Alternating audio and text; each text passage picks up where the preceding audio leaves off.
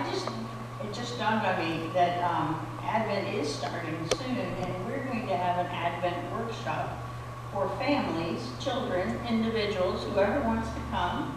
It's going to be on the last Sunday of um, this month, which is the week just before Advent starts. And one of the things that maybe you all would be interested in is each family is invited to make an Advent wreath with fresh greens, and we'll have what you need to do that.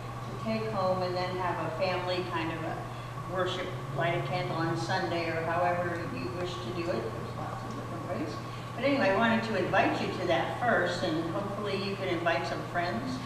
Um, and also, we need hands to make that happen. So if you are willing to, we're going to do Advent wreaths.